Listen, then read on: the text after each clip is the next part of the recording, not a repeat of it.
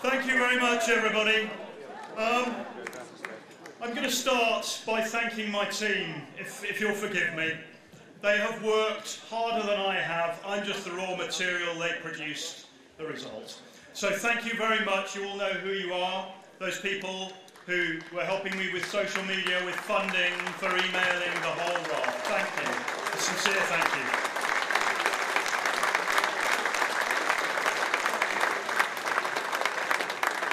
I'd of course also like to thank all of you who voted for me and uh, the others who are out there who can't be here today who voted for me. Thank you.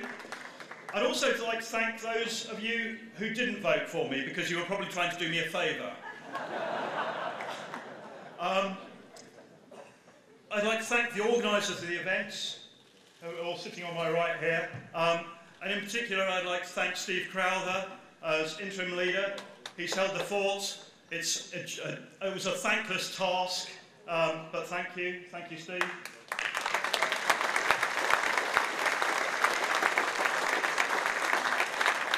And I'd like to thank my fellow candidates in this.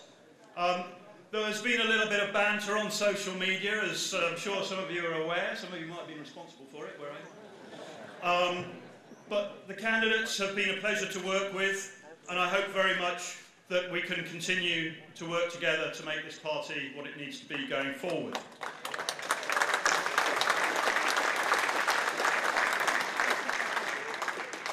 Today is not only a crucial day for our party, it is a critical day for our country. We've already heard today from a number of speakers of the importance of holding the government to task for the delivery on that mandate that they were given on the 23rd of June last year, which so far they have failed to deliver anything on. Ladies and gentlemen, Brexit is our core task.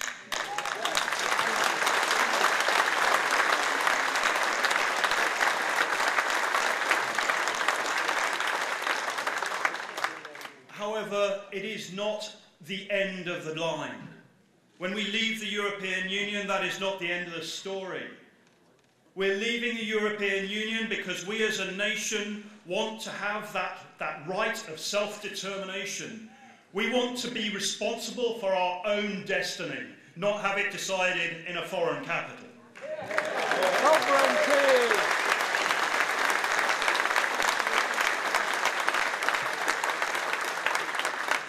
We want to do that so that we can be a prosperous nation, a globally outward-looking trading nation, a secure nation, a nation that can protect its own way of life, its own culture, and its own environment in every respect.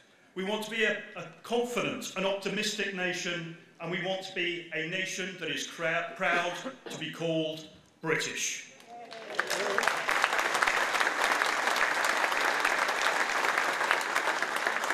Whilst Brexit is our core task, that greater goal, which is ongoing beyond the time that we leave the European Union, well, that is our core purpose. Now,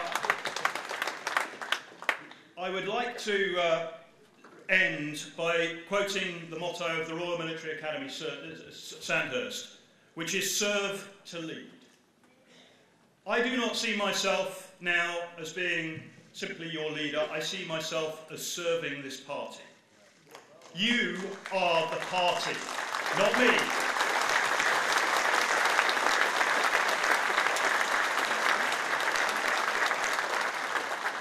And this, this party needs to serve its country.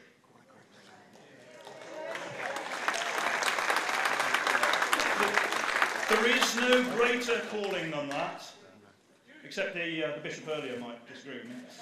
Um, okay, there's one greater calling than that. And I would call on all of you, whether you voted for me or not, and even if you didn't, whether it was a favour or not, I would call on you all, please, to rally around the party, to be united, because without being united, we cannot lead. We cannot lead the nation and we cannot hold the government to account we cannot achieve our core purpose at all. And part of that whole story is reorganising or in, in increasing the efficiency and the effectiveness of our party in British politics.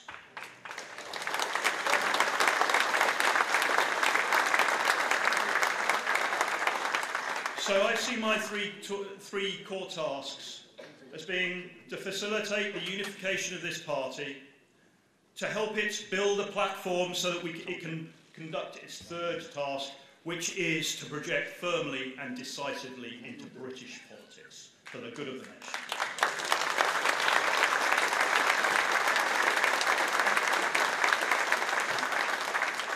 Tomorrow I, I shall be given the opportunity to make a more lengthy speech. I, of course, shall do so. So sick and tired of my voice by the end of this. But uh, not an hour and a half, no, no, no. no. You're all right, you're all right. Um, so I'm going to leave it there, ladies and gentlemen. Once again, thank you very much to everybody who's been involved in this contest, in this campaign, and in this event, and for all of the, you who have voted. Thank you very much, and I'll see you tomorrow.